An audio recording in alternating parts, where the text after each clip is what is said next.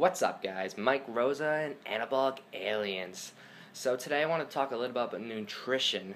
I know Q is normally the nutrition guy because he's a nutritional science major, but I'm a nutrition and wellness major, so I want to have say too.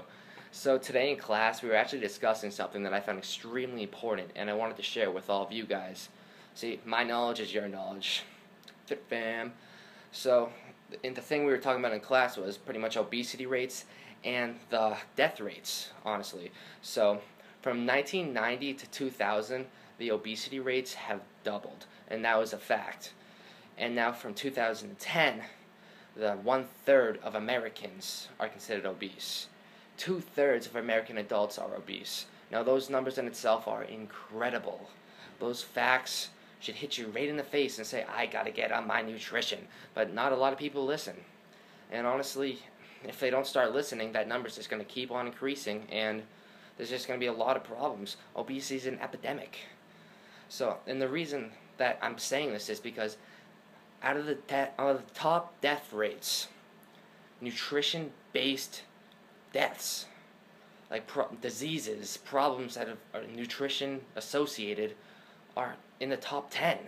There's cancer, heart disease, other cardiovascular diseases, stroke, diabetes, Alzheimer's. It's it's incredible. And number 5 I think in 2010 was accidents and alcohol was the main contributor to those. Alcohol, like guys, what are we doing with ourselves? How are you living your life? What is your nutrition like? How do you want to live long? We are no, that's a fact. We are living longer. Life expectancy is increasing, and infant mortality is decreasing, and so we're living longer. Hence, we have are causing age. As we get older, we are having more health problems as we age. So, if we take care of our nutrition when we are younger, we can play a much bigger role in the effects of our health when we are older. So basically, it's extremely important for that to be like that point, that those facts to be acknowledged.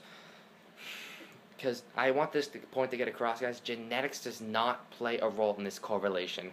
Over these decades, the obesity rates have risen. Do not even try to blame. Don't even try to blame genetics. If I hear, I don't want to hear that. It's not genetics. Genetics do play, play a role in these diseases, but like most of these are nutritional based. And that is a fact. Over this correlation cannot be again blamed by genetics. It I blame it and I believe so many facts, if you look it up will support it, will be nutritional based.